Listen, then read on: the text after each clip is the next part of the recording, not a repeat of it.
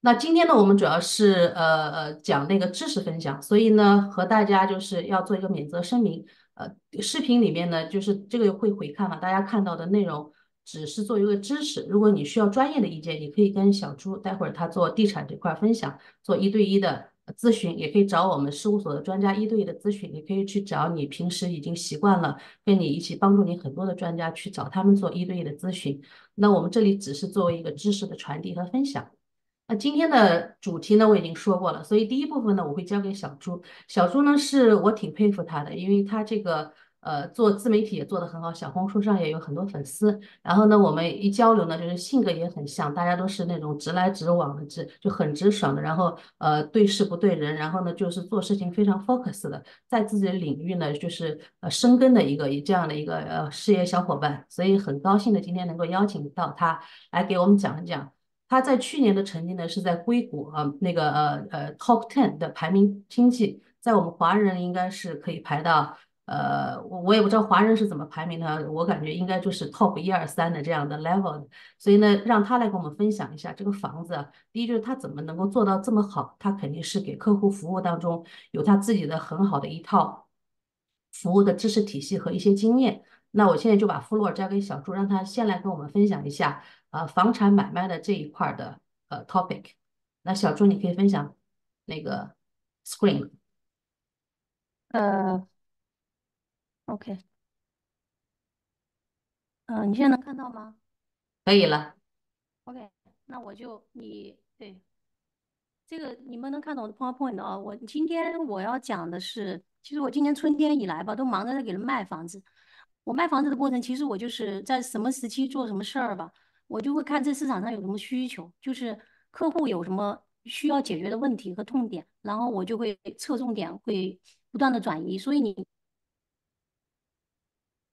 focus 在帮人买房子，然后呢，如果是这个市场大家都不想买的时候，就顺应民心的时候，你要去看看客户里面他们当下的需求是什么。所以我今天要给大家讲的就是这个优化家庭地产投资配置的策略。我比较喜欢研究投资，然后。近几年我都是 focus on 做这个地产方面的。呃，我上一次更新这个湾区房市的时候是在我的 YouTube 频道上，九月九月份的时候，去年九月，所以大概是四个月之前，我讲过这个湾区房市。所以中间有三四个月呢，我都没有进行更新，因为就特别忙。呃，所以我想今天的讲座里面，我先讲一下这个湾区的房市，就是因为我每天都活跃在第一线，对不对？然后我对这个一线呢是一个什么样的感受，我就。给大家分享一下，还有就是 in general 的话，你一个家庭里面，比如说你有很多很多套房子，你什么样的房子，你来问我要不要卖，我会告诉你那个不用卖。然后什么样的房子可以卖掉，它是会有不同的原因的。就是如果那个房子我觉得你不需要持有的话，我可能会给你分析一下，你觉得就是卖掉会有什么好处？那卖掉之后的钱呢？你你把这个钱卖了，你总不能就是说啥也不干，对不对？你可以躺着，像现在利息比较高，或者说你。呃，如果那个 capital gain 比较高，你要怎么样避税？所以我们今天要 cover 的就是这四个 topic。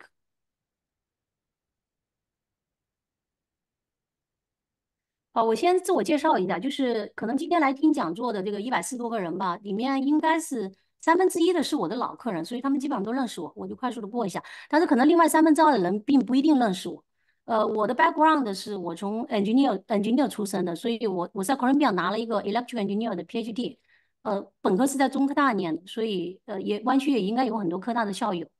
呃，我的最早在我做地产经济之前，我其实只是个投资博主，我并没有说是因为我要做地产经济，所以我去做投资，而是因为我在上这个 engineer 班的时候呢，我就对这个投资感兴趣，所以我就写了很多的公众号文章，都是一些原创的，然后 YouTube 视频啊，就大概有一两百个，所以小红书后来我就是。小红书出来后不久，我就去做这个小红书。我现在粉丝大概也有一万多个吧。然后这两年的 focus 的重点，从我拿了 license 之后呢，我就是基本上是个呃 realtor。我的我的主要的身份是 realtor，就是我日常的工作 full time 我就是一个 agent。我目前就是我是在这个 Coral Bank 的 Cupertino office，就是有我有一个自己的 team，大概也就是就过去三个月 build 的一个 team，之前都是我一个人单干的。呃，在去年的排名里面，嗯，Bay Area 的二零二三排名，我大概是排进了前十。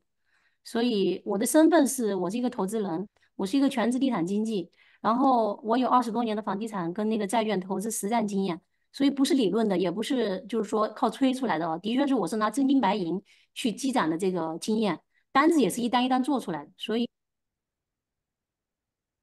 这个，所以我会有这个排名和交易量，就是全国排名是进入前一百。然后在过去，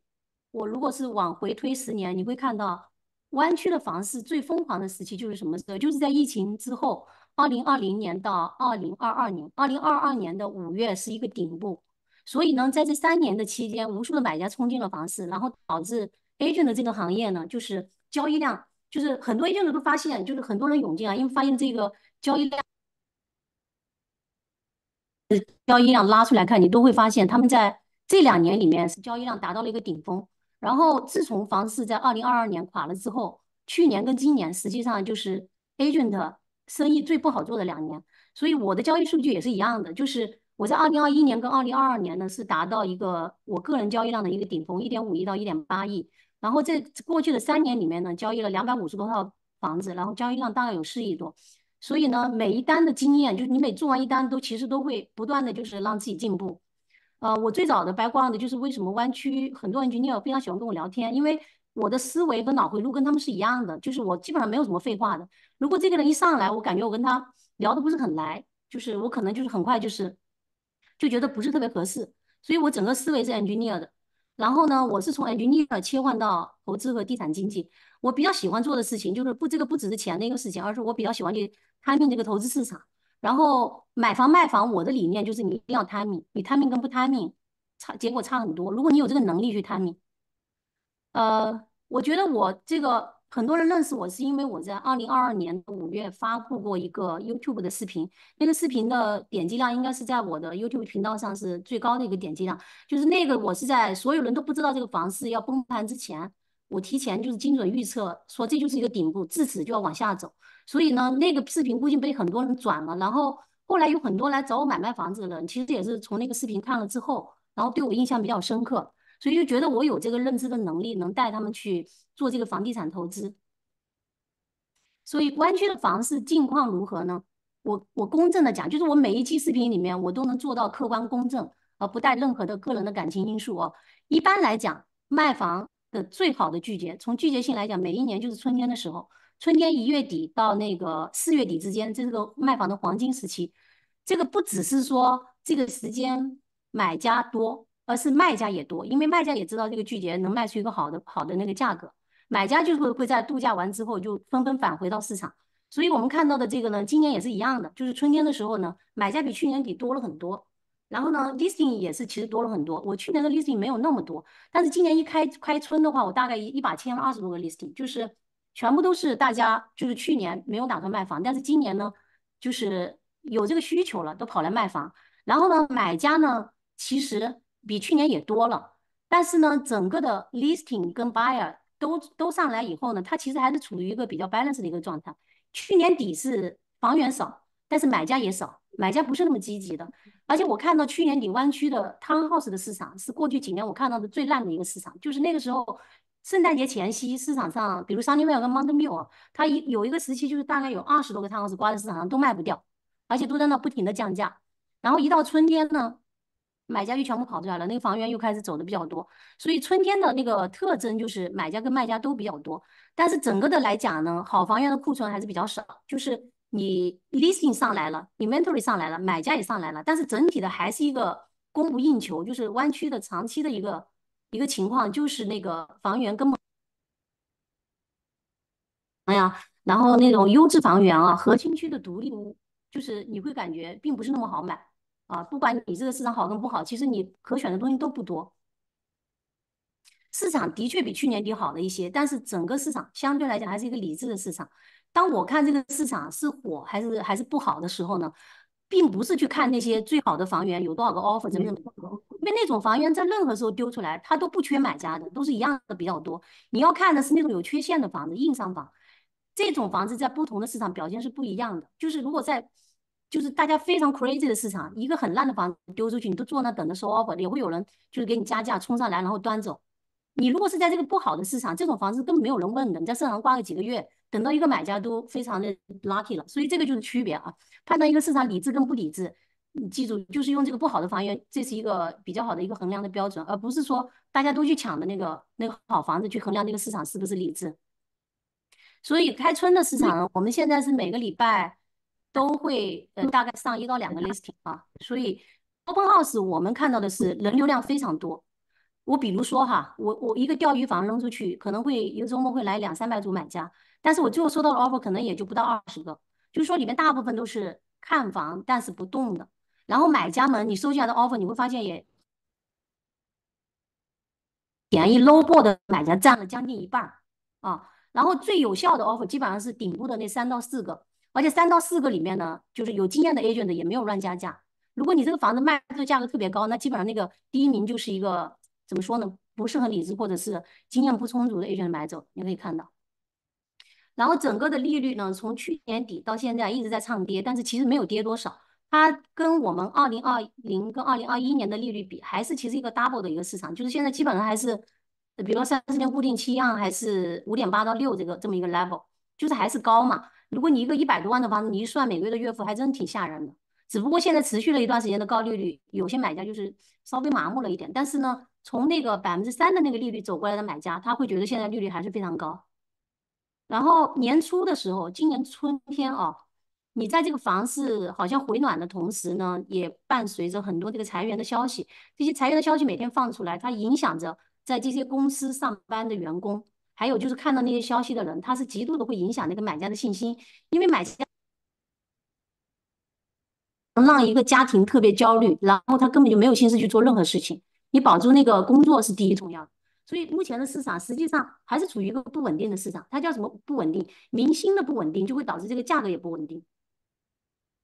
所以呢，如果今年春天没有必要 panic 的上车，因为它是会涨一点，它一定是会比去年底会涨一点，但是它不会大涨，也不会不理智的涨。所以买家不需要 panic。然后呢，独立屋的表现呢，它是在任何时候都比 townhouse 跟 condo 的表现要明显要好。这个是表现在买房跟卖房两方面。买房的话，你要买一个独立屋，特别是一百五十万以下南湾的那种独立屋是很难的。就算市场不好，你发现选择也不多。然后我们在卖房的时候，就是独立屋基本上硬伤房都能很容易的卖掉，但是呢，townhouse 跟 condo 明显难度就更大。所以我各种房型我都卖过，我大概知道就是哪个区域买哪种，你的 resale 会比较容易，然后会比较容易涨。哪种东西是不涨的，它也是分区域性的。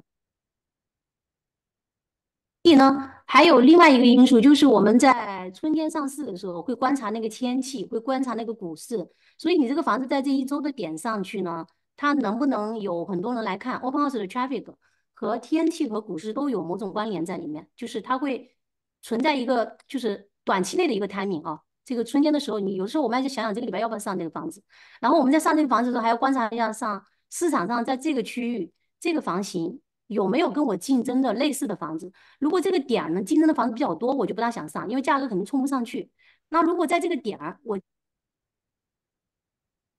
消失了，就剩我一个房子了，我就果断的给它上市，价格一定是不错的。所以整个的呃全美，对小朱，你那边的声音啊，就是有时候会断，是你那边信号不好吗？啊，怎么个断？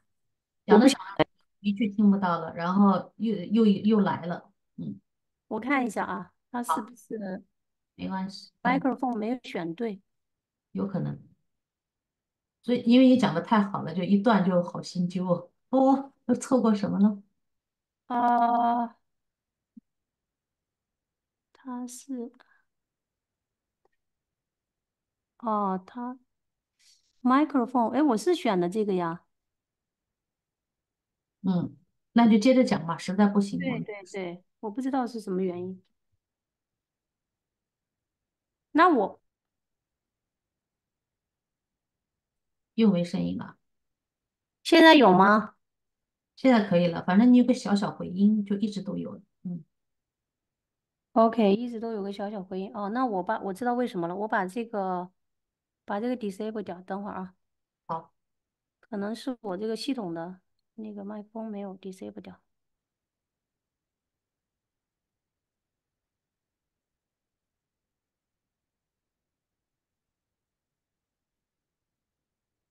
我们应该在开始的时候测试一下哈。对，没关系，已经发生了。对，好，你接着讲吧，因为有录录像。对，对，你等会儿，我把这个。好，不好意思啊，今天那个对。OK。哦，我知道为什么了，我 disable 东西不对。对，我们今天有测试，只是没有，就是测试的声音没问题，因为可能没有连续讲很长。对，他说 microphone 有是指向性的，要一直对着 microphone 讲话。看给我们提的建议。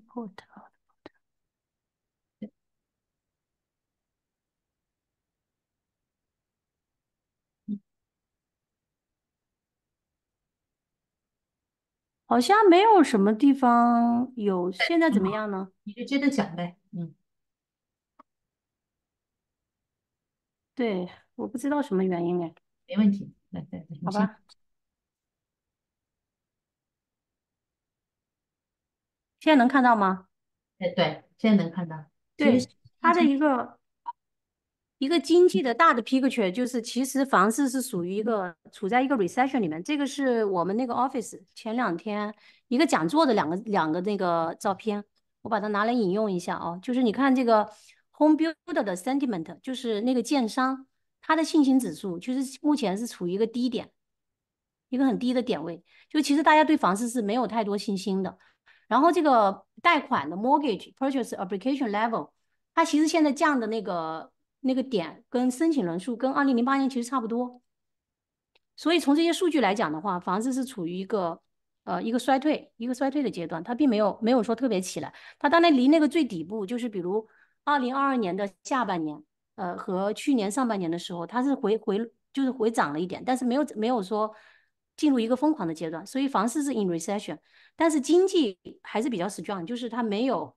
没有正式的进入 recession，但是这个经济学家说的是。假设有 recession，它可能时间也比较短，也是一个 short mild 的 recession。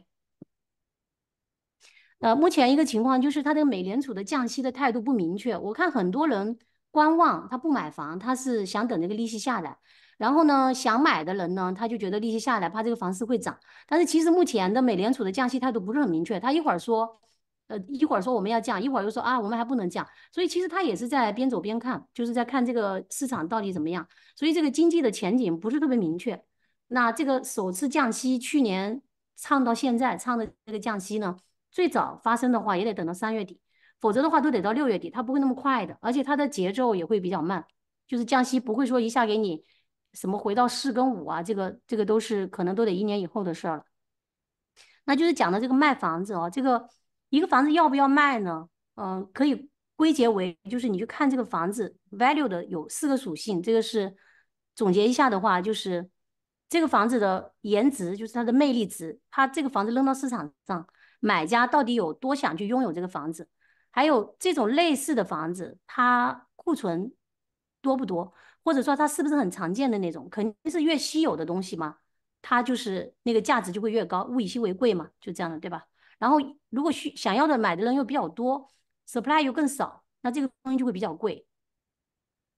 还有它的实用性啊，实用性就是这个房子自住房都是用来居住的。然后呢，有一种房子在湾区这边是属于例外的，就是那种湾区的小黑屋。这个东西大家肯定都去避得过小黑屋的买家都知道，就是湾区的，如果是区还不错的那种特别特别破烂的房子，烂到你最后你就觉得只是买了块地，这种反而就特别贵，因为就是。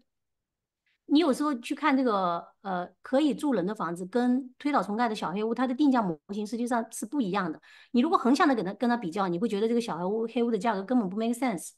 但是它其实是两个不同的 category，就是小黑屋的它定价模型是由那个 builder 啊或者愿意去翻修房子的那些人定价，然后他们是通过一个盈利的模式去算这个房子是多少钱，跟那个能住人的那种房子它是不一样的。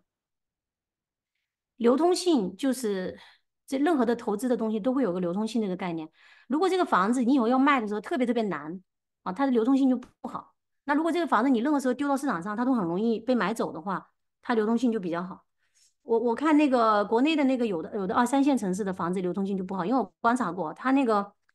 基本上有的房子在市场上挂一年可能都等不到一个买家。那湾区的整个房子的流通性其实还算不错的了。你就算那种硬伤很烂的房子在市场上挂个几个月，最后还是能卖掉的，不会说那么夸张。那正常一点的房子，南湾这边哪怕是比较破的，你丢到市场上一个月内肯定也是能卖掉。那特别抢手的呢，没上市就让人买走了，或者是一周是肯定走掉的。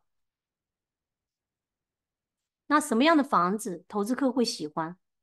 什么样的房子自住自住买家会喜欢？因为我以前给客人买房的时候，买的比较多的时候，基本上是自住买家和投资客是一半一半，所以我基本上对这个也是有过一个深入的研究。那你这个房子买进来之后，什么样的房子你可以长期持有，你就不要动这个去卖的念头啊。如果这个房子能给你源源不断的带来一个现金流呢，你就不应该去卖掉它啊。它可以比比如说变成以后你一个养老的一个 passive 的 income，当然你还要去伺候一下租客就是了。这个 passive income 的 cash flow 的 machine 应该长期持有。所以投资客比较喜欢的款就是他们买进来想要的一个东西，最理想的是这个东西既能涨又有好的现金流。啊，这种东西在湾区是不好找的，因为湾区的房子贵嘛，所以升值呢它是有周期性的。那如果现金流的话，你如果价格一高了，它租金涨得没有很快。其实湾区的现金流跟外州比的话是很烂的一个现金流的那个那个投资区域。如果你自己能够打造出一个 cash flow machine 啊，这个投资房你就留着养老，就不要去卖它，因为你卖了的话，你等于就是。呃，把一个那个会下蛋的鸡给杀了一样，这个就不是经常有这个地产投资的那个文章这么比喻嘛？那这种投资房一般有两种，一个是 multi units，multi units 就是一个 lot 上它有四套或者是更多套的那个公寓，那它整个的现金流会比较好。还有一种就是大家有一些投资者比较喜欢买那种独立屋啊。后面院子比较大，你的 lot 比如是七千以上啊，或者是有的有的 city 它要求没有那么高，就是可能五六千你也能去想办法搞个 ADU，搞个 ADU 你就会有两套房子出租，那基本上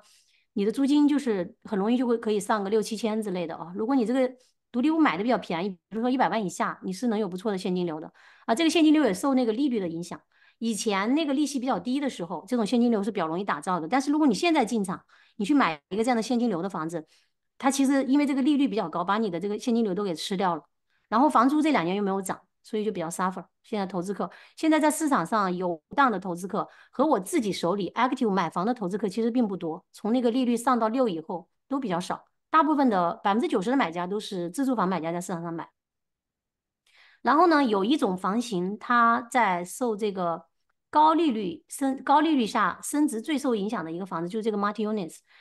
这个 Marti units 上一次的高点应该是在它升息之前，二零二零到二零二一年左右，那个时候是一个高点。然后之后利率一直往上走嘛，往上越来越贵了以后，它这个房子基本上就没怎么涨，就是市场的值没有怎么涨。然后因为租金也没怎么涨呢，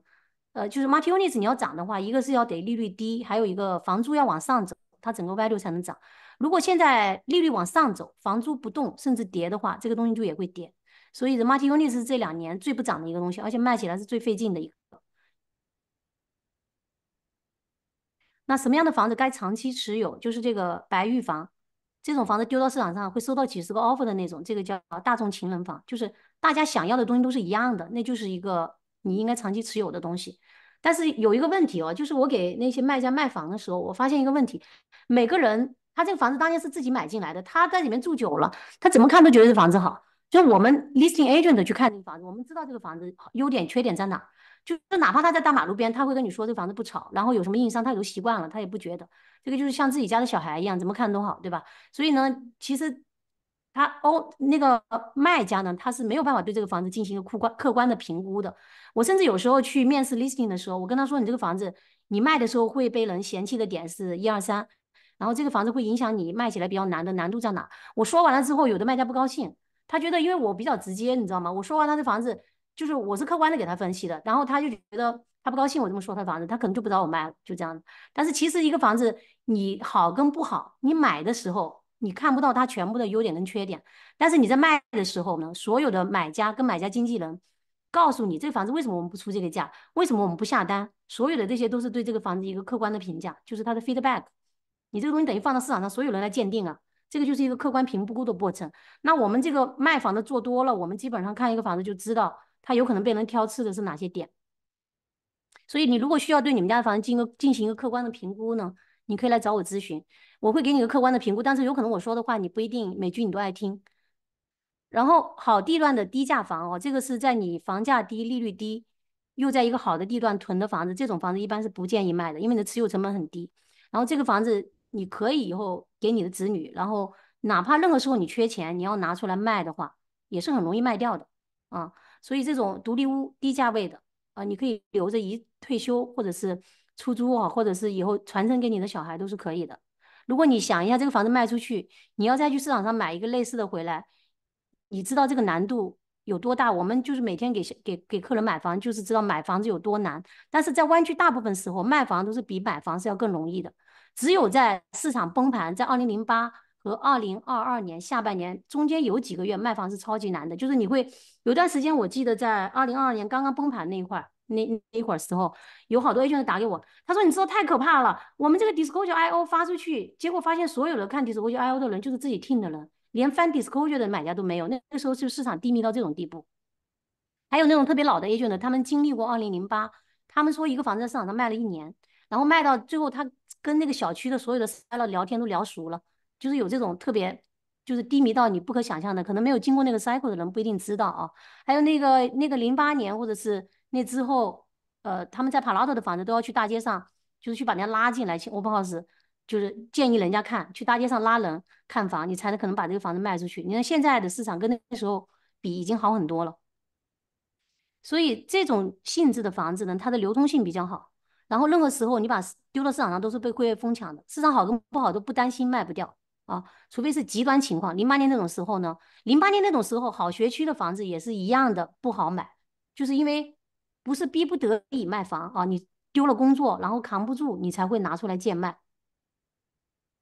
所以在湾区的话，一线学区房它一直都是一个稀有资源，嗯，就是拿出来卖的人不多，但是年轻人不断买入的一直都是比较多。还有就是南湾这边，包括半岛，它如果 neighborhood 好，交通好，这种比较周正的独立屋，尤其这两年炒那个大 lot 的这种这种这种大 lot 的独立屋也是比较比较抢手的。有时候呢，你去看这些房子的绝对涨幅，你把它的那个多少年的曲线拉长了看啊，它是有可能贵的学区房。你比如说，我一个三百万的房子，啊，它的涨幅过去十年涨了多少？你算一下这个百分比。但是其实你把那个三百万的房子，你把它换成几个一百万的房子，其实你会发现那三个一百万的房子整体加起来涨得会比那一个贵的房子要多。这个规律我不知道有没有人注意到。所以，如果你是自住房跟投资房，你的嗯，整个的你要买这个房子的目的是不一样。自住房你其实大部分时候是为了你满足你当下家庭的需求，就是投资是第二了。如果你纯粹只是个投资房，你不一定要去买这个学区房来投资，而是就是看这个房子能不能帮你赚钱，这个是最重要的。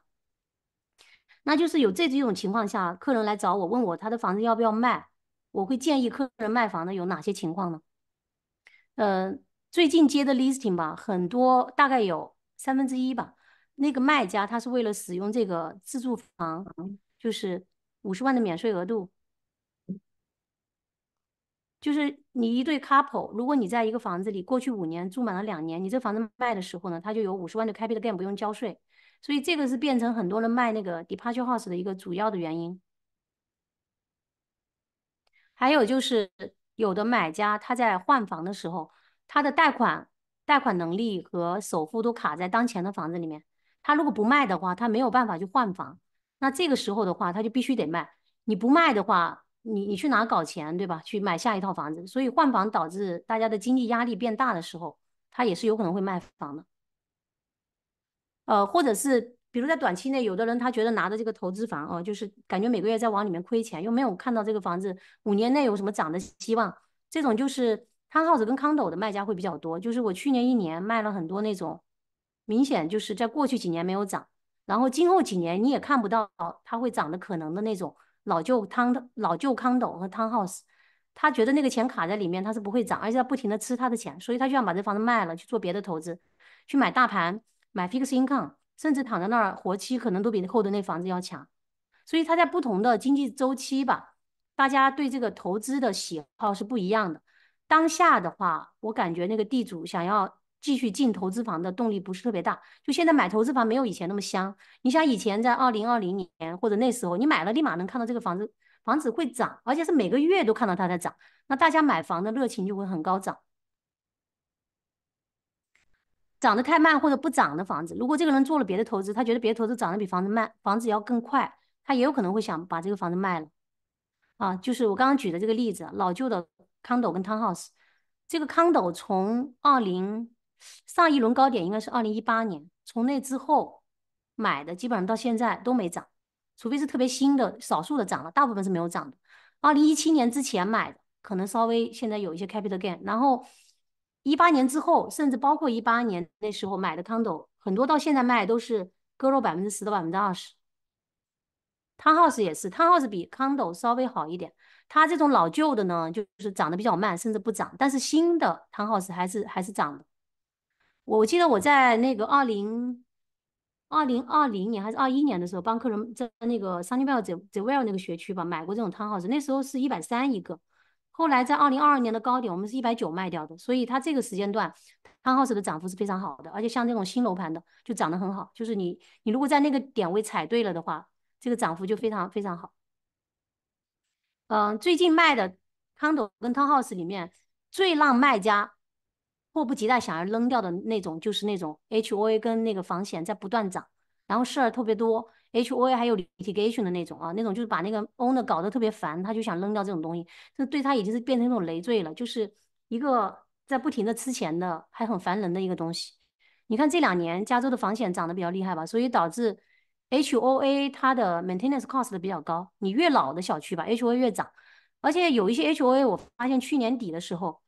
它是去年底跟一月份都是 HOA 调整这个每个月收费的费用的时候，我一个 listing 刚接进来，等到我就是卖掉，这中间它就能给你涨一百块钱，就是每个月涨一百，就比如他给你发一个通知哈，你这 HOA 目前是五百块，然后等到 close 之前，突然给你来一个 notice，说明年开始一月份我们这个 HOA 要涨到六百，涨到七百。这个涨幅就很吓人，你就会感觉过个几年是不是得奔一千块钱去了？那奔一千块钱去，如果房租不涨的话，你拿的这个东西，它就变成一个很高的 cost 的东西，就是投资上完全不 make sense 了。还有一些就是，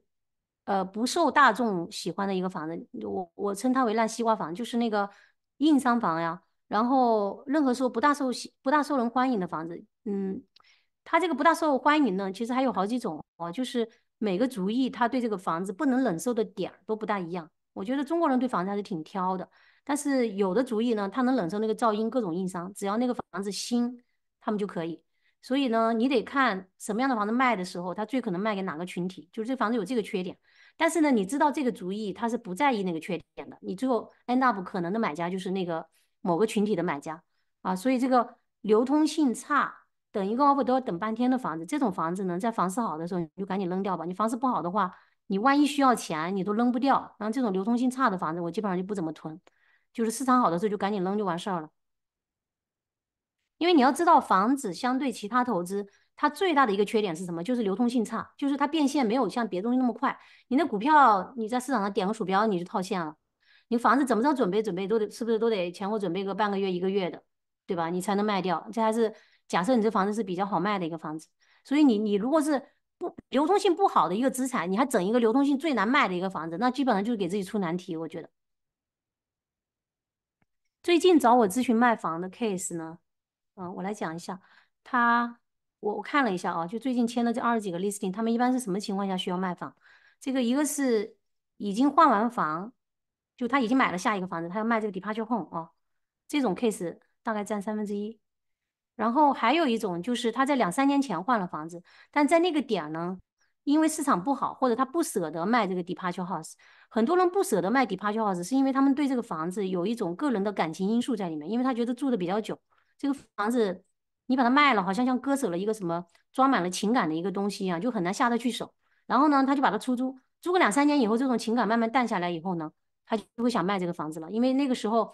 呃，你要想用那个五十万的免税额度，你出租不能超过三年，超过三年以后你就没有那个 benefit 了。所以在出租快接近三年的时候，这个时候会有很多 owner 想要去卖这个房子，然后顺便 take 一下这个五十万的 capital gain 免税额度。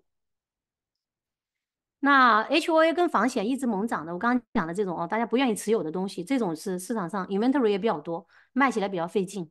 就是基本上，比如说我卖一个六十到一百万的这种老旧 condo，花去的时间。比卖两三个独立屋花的时间跟精力都多，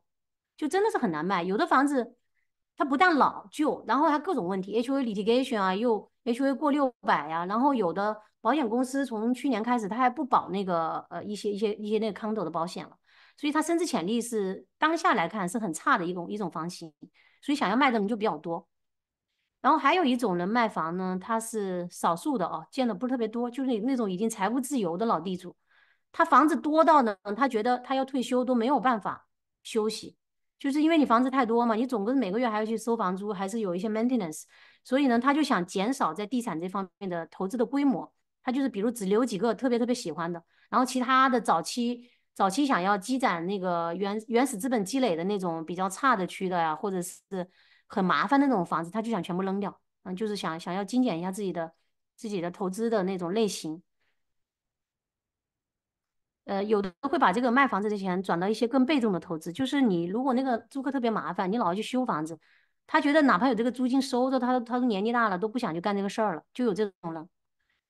还有一些我的客人他们是海归了，就是搬离湾区去，比如别的州，或者有的是呃回国的那种，他们的自住房一般也会处理掉，因为就是觉得自己不在湾区了吧，就懒得搞这么一个事儿，要不然你交给朋友去给你打理，这不还欠人家一个人情吗？是不是？所以像这种海归的情况呢，分两种情况啊，一种是如果你几年后还可能回来呢，那就是你可以考虑卖，或者是呃，或者是不卖。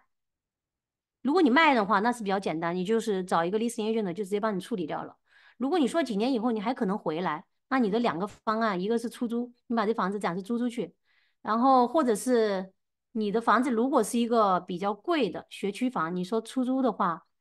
我每个月垫进去的钱就是 negative cash flow，你觉得不划算？那你有一个方案，就是你可以把它换成两个小房子。两个小房子呢，它租金的话，各方面现金流就会稍微好一点。如果你不嫌麻烦的话啊，那如果永久性海归的话，以后不回来了，你可以卖掉。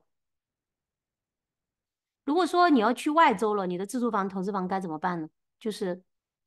你不是说回国，只是去外州。你去了外州，我跟你讲，有的人兜一圈，回头又回到了湾区，这种情况我是见过的。因为毕竟湾区的工作机会比较多嘛。所以呢，你不管你以后回不回来，其实你也不确定你去外州了以后能不能回来。你最好还是配置一个湾区的房子，避免踏空。你万一以后回来发现房价又翻了一倍，对吧？你的买房成本又上了，又翻了一番。所以呢，这样你留一个房子呢，呃，反正你在外州离得也不是特别远，虽然也是 remote 了，找一个可靠的 property manager 帮你管着，这样万一你以后回来还能有房子可以住呀。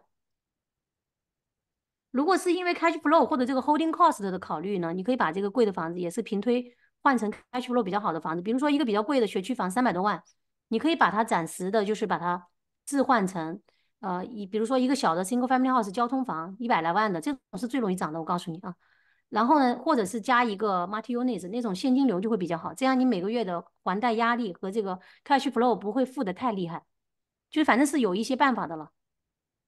所以，如果是大家有这种卖房或者换房的需求，可以找我们 team。我们现在 team 大概有十几个 agent，就是我。过去三四个月迅速 build 起来的一个一个一个那个 team，啊，我们的因为 team member 每个负每个人负责或者擅长的东西不一样，所以我们能 deliver 的那个 service 呢，会比别的别的 team deliver 的会稍微精致一点。首先就是我们的 video tour 都是自己拍的，就是一个 video tour 我们都是要花十几个小时去剪辑的，并不是在外面外面的 order 的那种。外面的 order 这种缺点是什么？就是说。缺点是他并不知道这个房子的卖点在哪里，他只是给你拍拍拍拍视频，对不对？你他并没有告诉你这个房子的优点在哪。但是我们自己去打造这个 video tour，我们可以把这个房子的亮点配这个语音给你详细的讲解。这个房子就是我拍到哪儿有哪个点啊？这个房子的呃最大的卖点在哪？我都可以 build in 到这个 video 里面去啊。而且我们一个 listing 的话，每周除了那个周末的 open house，我们你可以看到我们。有时候礼拜一、礼拜二也 open，我们礼拜五也 open，就是我们其实在 weekday 我们也是会 open open 那个的，就是因为有的买家他可能周末他要出去玩或者他比较忙，他没有时间来看 open house。那 weekday 的话，下班之后的时间他们也可以来看，所以我们基本上能够把所有该来的买家就是都拉过来看一下。那我是特别擅长于做 digital me digital social media 的，我们 team 的里面所有的 team member 里面有几个都是都是这个。粉丝数比较多的博主，那我们的粉丝数加起来大概就能有十万，所以每一个房子一推出去的话，呃，加上我们 c o d e Banker 内部的 digital social media 跟 email marketing 的这个力度，就基本上这个房子在市场上，你可以最大的、最大力度的去曝光你这个房子。所以你卖房一定是非常非常高调的。你买房，你买了个地儿，买了个房子，大部分买家或者买家经纪人都是都是想非常低调的，因为你并不想人家你好像你买了一个豪宅去炫耀一下，大部分人都是比较。比较低调的，所以我从来不会拿客人买的房子说我去买了一个什么什么样的房子，然后呢捡了一个什么地儿，这种帖子我已经不大发了。但是卖房的那种呢，我是一定要让这个房子让所有人都看到，就恨不得全湾区的人都看到这个房子，这样我才能卖出最好的价格啊。那所以就是说，很多的那个 agent 他其实都认识我，所以我跟大部分的 local top agent 的 networking 都比较强。因为一方面我在过去几年买过他们很多房子，然后我现在 listing 特别多，每一个 listing 几十个 offer，那下单的下单的 agent 跟我都有一些 conversation 或者是合作关系。啊，我们的 staging 跟 photo 也是也是都是特别好的。所以呢，我们的目标就是在给人卖房的时候，我们一定要保证他拿到市场上能给的最好的价格。就是我经常说的话，我说如果我卖不到这个价格，我不觉得别的 agent 能卖到。你是觉得我在吹牛，但是你也可以说这是我自信的一个表现，因为我做一件事我就特别认真。我如果要卖你这个房子，我就当成自己的房子来卖，那就是尽量把这个价格搞高。那我帮你买的时候呢，我不想把这个价格就是说买的比别人高，或者甚至高于市场价。就是买对我来讲，买买房子比卖房子实际上。是个更有压力的事情。买房子的话，你会发现这房子 close 之后，如果客人住的不开心，或者他之后有什么就是说 feedback 的话，那个是会不停的会有一种情绪传导过来。而卖房子，卖房子，我的卖家拿了钱，他是很高兴的就走了，对吧？然后呢，卖掉以后基本上是不会有太多麻烦。但是买买的话，你这个买家买完之后，你还是有很多的后续服务跟情绪辅导的。呃，卖掉房子以后拿到的钱怎么投资哦？这个这个问题，我讲一下我个人的观点哦，就是我们家的钱我拿来就是有那个地产投资，我也会投资那个股市跟债市，我会做一些分散的投资，而且在不同的经济 cycle 里面，它适合投资的东西会不一样。其实就是理念很简单，你在某个点你看到什么投资机会，你知道在那个点买哪个东西能涨，你就跑去投资哪个就行了，一定要跟着周期走。那自住房。你卖掉的钱呢？你 take 完这个免税额度，最简单的办法，你说你这个当下我没有发现什么好投资办法，你就是现在的利率利率形势底下，这个都是五个 percent 的左右的活期利息，你啥也不干，你躺在那吃利息都行，这是最简单的懒人的办法。那如果说你这个钱你不想去，呃，它没有什么免税额度，也不想你想不想去交税，你可以有两种解决方案，一种是投资房做这个幺零三幺 exchange 继续买投资房。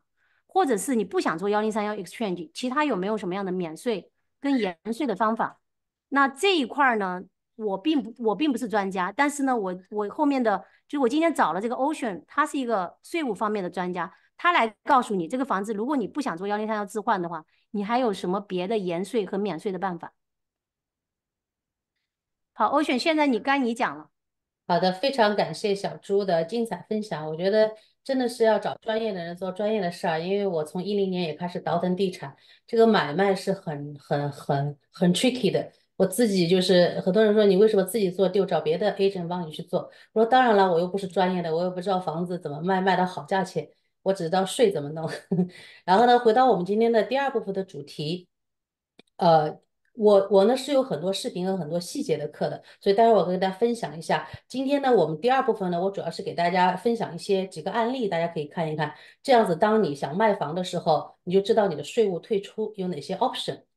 那呃，其实，在我们那个呃 Light Up 的那个财商学院，我们会讲各种各样的课程啊，从你人生的第一步曲到第二步曲、第三步、第四步呢，都会有不同的 tax code，可以帮助到你做一些事情。那比如说下周呢，我们就会讲 retirement 的这一块的呃 topic。那然后呢，我主要是 focus 在第二部曲。当你有了一些原始累积的资产之后，你想换资产，或者是想那个呃做一个 retirement 的 planning，就是你有很多房地产，比如说我待会儿分享案例，有的客户就是二三十栋房子，呃就想过一个自由自在的生活了，他们不太想当房东了，那该怎么退出？其实有很多种方法的，不是一种。那这些方法呢，我自己都尝试过，然后我也跟客户。做过，呃，一零三一大家比较清楚。然后呢，其实很多人不敢卖自住房啊。我待会儿分享案例，就是因为那个五十万也不够用了。你你有很多很多 capital gain，可能有几百万，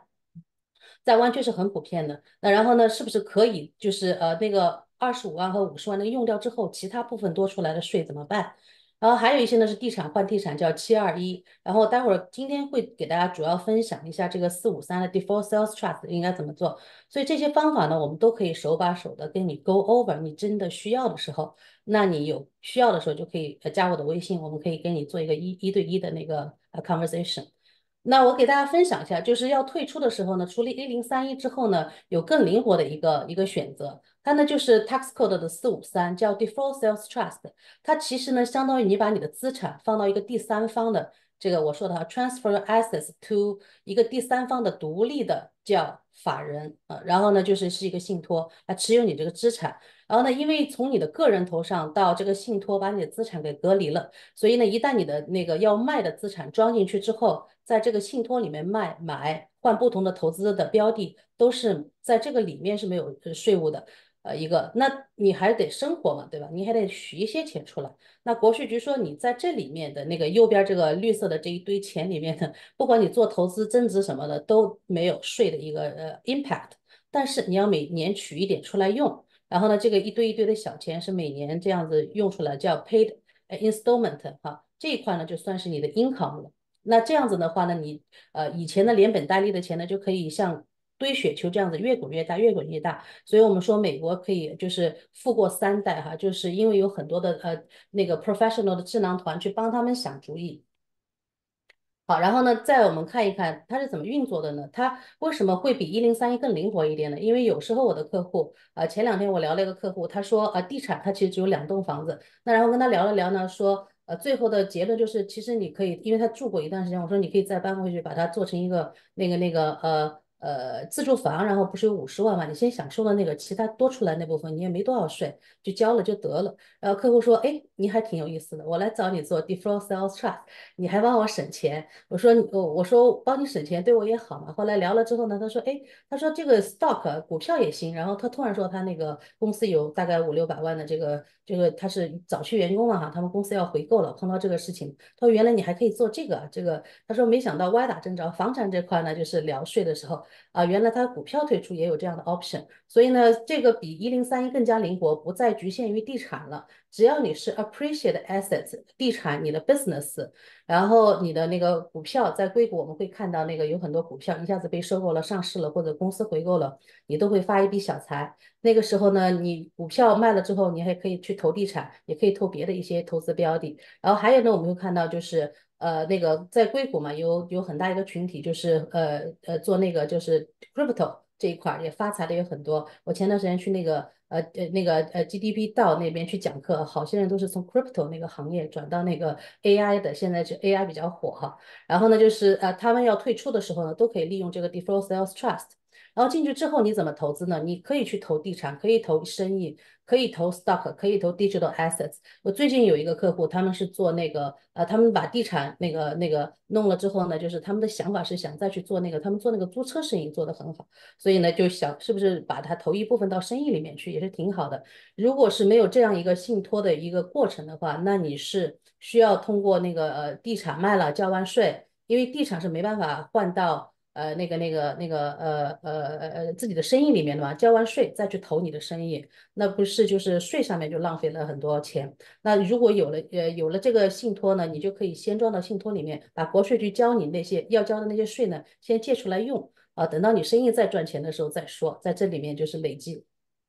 好，我要给大家分享两个案例啊，就是第一个呢是呃自住房的案例，大家很多以为我刚刚说过了，就自住房的二十五万到五十万用掉那个。呃，一零一的 exclusion 之后呢，很多人那还有一大段的 capital gain，比如说这个客户他大概是要退休了哈，呃也他也是个呃很很很资深的会计师，也是我四大的一个一个同事，然后他的那个呃呃。房子呢是六十万买的，因为很早的时候就买了个自住房，然后现在打算想退休了，就那个知道房子呢现在市价差不多三百五十万，那我帮他算了一下，你整个要交给国税局的税哈，你就算是有 exclusion 减掉之后，也要将近交给国税局一百万，那然后呢？这个白交出的一百万是不是很心疼呢？啊，我下面这个有个二维码，大家感兴趣的话，想知道哈，在小朱就是帮你去卖房子的时候，你可以先扫这个二维码去算一算，你到底有多少的资本利得税要交。你扫完这个码之后呢，呃，是个我是我们的网站是帮你计算税的，税计算完之后是这样一个情况，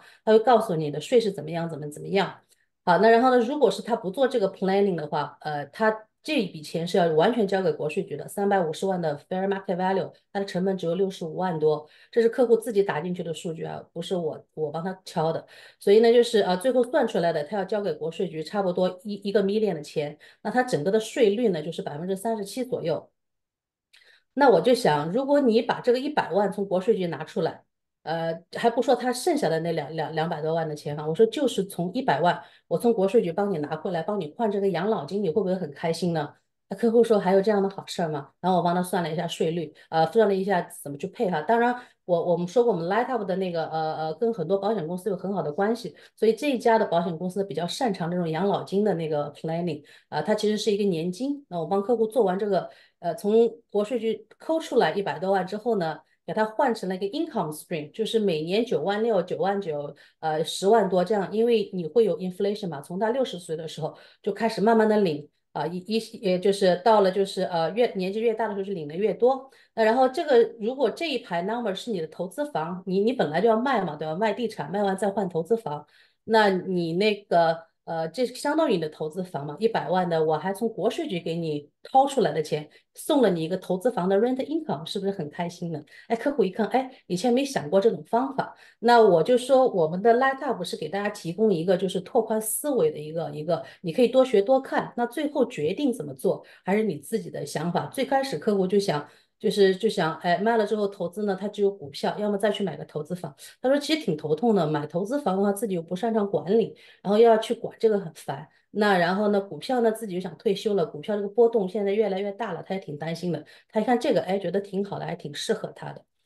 那如果是你的税率哈，因为这个客户他是个台湾人，他打算去台湾养老，所以其实投资房是不太适合他的。然后呢，呃，如果是他做的对的话哈，大家知道 capital gain 的税率其实不高的，只有就是就是。一段一段的哈取出来，所以呢，就是如果你取出来的这个这个 income 部分的话，如果是 tax 呃那个 capital gain 的话，你可以做到相对低一点，零十五到二十都有呃都都有可能的。所以呢，帮客户就是，如果他现在的税率一下子交的是百分之七的税率，那如果是他慢慢慢慢的取，就像这样八万八万多的取，我们是不是可以把客户的税率给他做到十五、二十、二十几这样子，至少不用交三十七的税率了，而且不是一笔交，是慢慢慢慢的 lifetime 去交。所以客户一听，哎，挺高兴的。那我们也觉得很高兴，因为我们确实帮客户解决了很多问题。那这个呢，就像小朱刚刚说的，有一有一个退出方法，就是有太多太多的房子了。这是我们见到的最多最普遍的客户，就是这是一个客户，他们年纪大概是在五十岁多哈，他们有一共有二十几套房，一一辈子累积下来，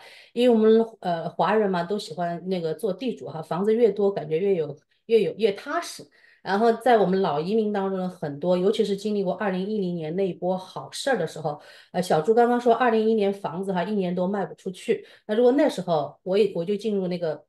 房地产投资了嘛，然后我们去 bid 很多，就是 full closure 或者是 short sale 这种房子，是整个周期你要买下来是一年。有时候我还记得我在 Freeman，有时候同时下三十几个 offer，不是我有钱能够下三十几个 offer，是你你那个 offer 那时候不用付定金，不用付什么，那时候交易完全是不一样的。你下了 offer 再说。呃，然后等回来之后，可能都一年之后了。有些房子，我的投资房我都忘记这件事儿了。然后他来问我，你还要不要？那我钱可能都投到别的地方去了。所以那个时候房子也就是就是卖起来比较难。但是你要说那时候买房子的时候，价格特别好，你随便压价。我记得我在 Freeman 的一个投资房，当时那个呃，当时是四十多万的那个那个 fair market value。然后我我其实是乱开的价，我给他压到三十五万，然后他不理我，不理我我就忘记这件事儿了，因为同时下了很多 offer。然后呢，后来就是。过了大概几个月，他又找我了。我说：“你房子被卖出去了吗？”他说：“没有。”一你知道，当零八年那个时候一过去的时候，很多人想买房，但是贷不到款的，因为突然一下子金融危机之后，突然所有的贷款全部收紧了。所以那个时候就 agent 打电话，他说他弄了两波了，都卖的就是做贷款出问题了。他说现在房主考虑，他说你能出三十万现金就给你。我就那个当时就去调动一些钱嘛，然后我就觉得哎还捡漏了，挺好的，就是很开心嘛。四十万一下子降到三十万，也是很大的一个比例哈，就相当于买了一个就是打折的价。那那个时候呢，就是呃你要是投入房地产的话，你是赚很多钱的。所以我现在很多的客户这个年纪，他们基本上是那个时候真的是做了很好的一个投资。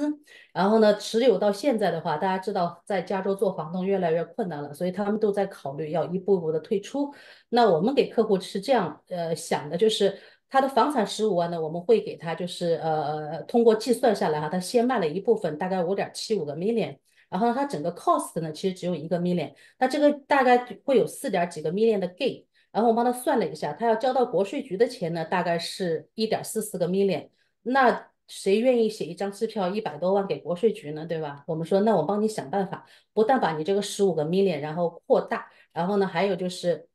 呃，现在卖房呢也不交税，那我们就帮他做了这个 DST 的 Default Sales Trust，其中有两个 million 呢，他想投一些比较稳定的，因为他已经外面有很多房子了，在这个信托里面他不再想投房子了，投一些 Structure Notes 基金什么的，这也是小朱他也比较擅长哈，他也会做股股市投资。当然还有一部分呢，就像刚刚那个客户一样，他也选择了做一个就是通过保险公司，因为保险公司的投资呢它是很稳定的，呃呃，投资不一定能够 beat 的那个就是呃华尔街操盘。你自己去炒股票啊？但不一定。我我有看那个 J.P. Morgan 的那个回报，说平均的投资人自己炒股票只有二点九。但是就是你要找基金管理人给你做，可能会更好一点。那呢，呃，保险公司的客户为什么这样选呢？因为他年纪大了，都不想去，就是钱呢一定要有一部分非常稳定的。那他说这个挺好的。那我我这样子做一个 fixed annuity，我就不用再去买 bond fund 了。就如果是你会做那个投资的话，一般会建议你一部分的钱是放在 bond fund 里面，给你就是非常稳定的那个利息，然后另外一部分放到 equity 里面，股票随着涨。那这个样子，他说你这个 fixed annuity 这个五点五的利息。比那个棒的还还更好，就是因为它不会降嘛哈，你在棒的现在高一点，可能过两年就降到百分之二三这样子了，所以客户很满意。那还有一部分呢，就是我们跟他说，就是他就很担心这个遗产税的问题。我们说，如果你担心遗产税的话，那我们就帮你把资产隔离一下，然后呢，就是里面借出来一一百万，然后呢，我们去跟不同的保险公司去帮他找一些产品，这个产品就是可以做到一百万换两。啊，两二十个 million 的一个 assets，就一个小钱换大钱，然后受益人呢是他的 heir，就是他指定的要给谁，然后如果他去世了的话，这个两个 million 的一部分抠出来要还给这个信托的，那十九个 million 呢，整个连遗产税都没有的资产隔离出去呢，是给到他的后人的。那从这个 moment 开始就是。呃，就这个玩笑不能乱开。但是如果他们夫妻两个这个 moment 刚做完这些 planning 的时候出了问题，那他整个十五个 million 留给孩子的还多出来十九个 million 给到孩子，一点遗产税都不用交。所以就是呃，当然我们不希望客户活就是活得太短，我们希望他们活得太长。活得太长的时候呢，呃，就有就是这边的资产会给他稳稳的增值，然后呢，他慢慢的把这些地产卖掉之后呢。在这个 default sales trust 里面再去做的这些投资，每年是会报税的。它相当于是个独立的法人，它在里面利滚利、利滚利，不不管你的年回报率是百分之二十三、十、零、五，你在这里面是没有任何的税的。所以你这个雪球可以越滚越大，越滚越大。然后呢，呃，以后再做呃遗产的时候，另外一个 planning 嘛哈，其实这里边已经呃带了一个遗产税的规划，所以我们给客户做 planning 是很开心的。每个客户的案子其实不一样的，然后做出来结果也不一样，不光他情况不一样，而且他的那个呃。呃呃，最后就是想法，客户的想法不一样。有些客户这样房子就换很多商业地产啊，别的东西啊；有些客户就想那个呃做一些很稳定的，所以特别有意思。那然后呃，在这个过程当中呢，我们也会跟客户学到很多呃风险是怎么把控的呀，然后客户为什么会做那么好啊，一下子赚那么多钱呀？就是所以我们在学习的这些知识和经验的时候，就是我们就很高兴有 Light Up 这样的一个平台可以帮助大家，就是我们把。各路的专家，包括小朱，我们会把这个跟客户交流的一些经验什么的传递给大家。我们是希望大家越做越好。